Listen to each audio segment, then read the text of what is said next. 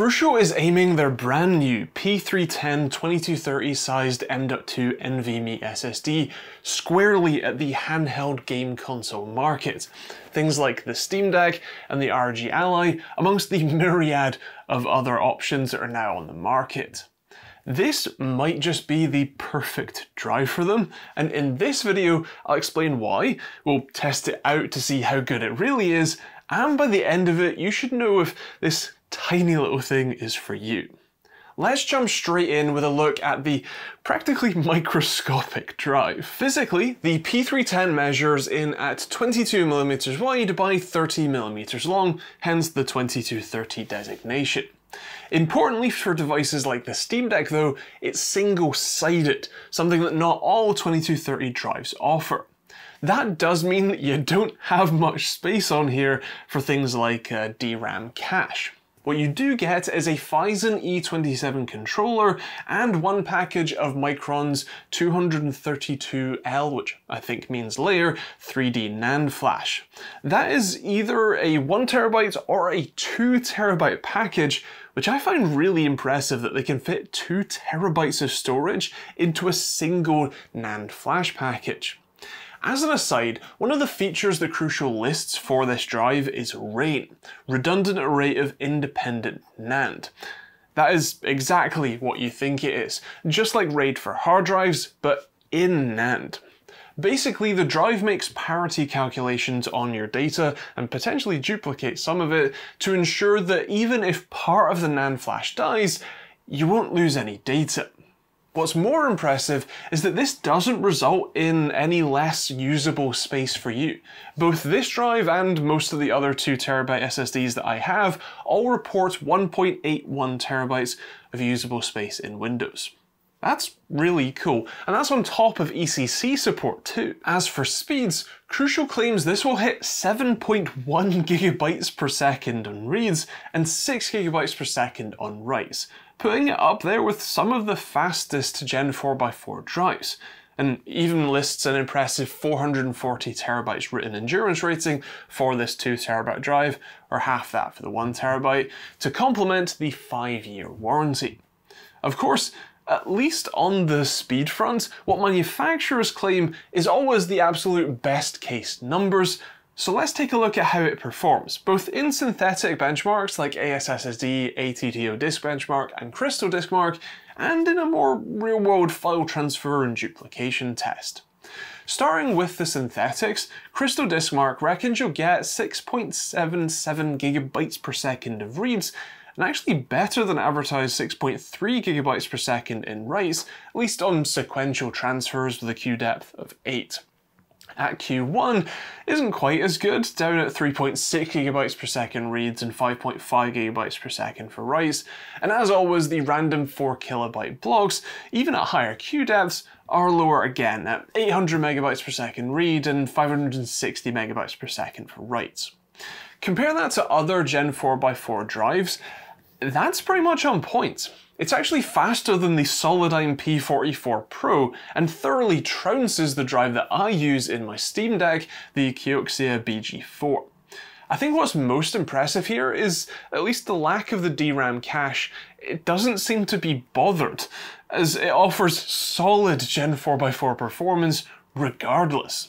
That's really cool. AS SSD has the P310 in the upper pack, again matching some of the full-fat, full-speed Gen 4x4 drives like the Sab Sabrent Rocket 4 Plus G, despite the P310's diminutive size.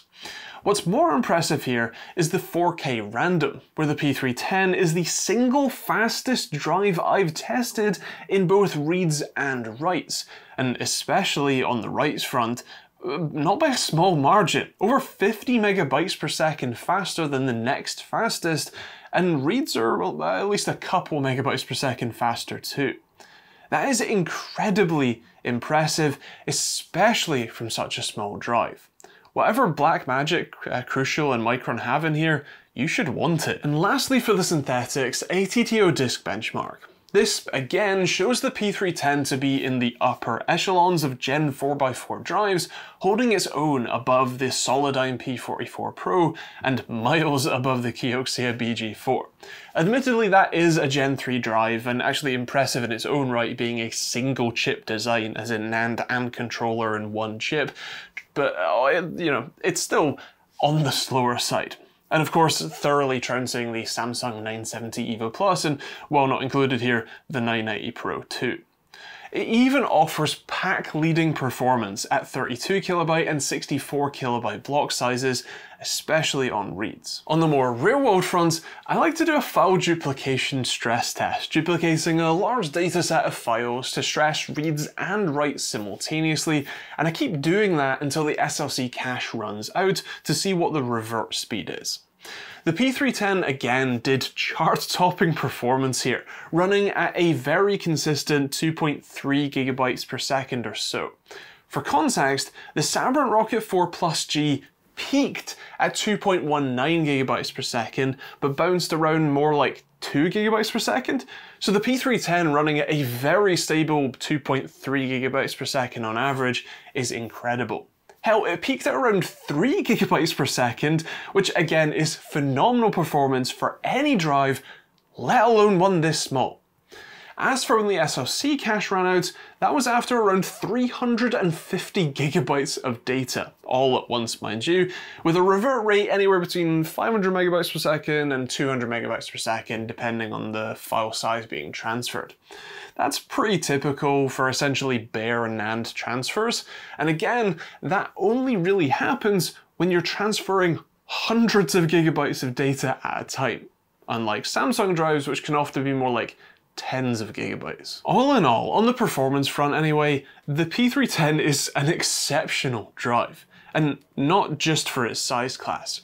This is about as good as a Gen 4x4 drive gets. Full stop.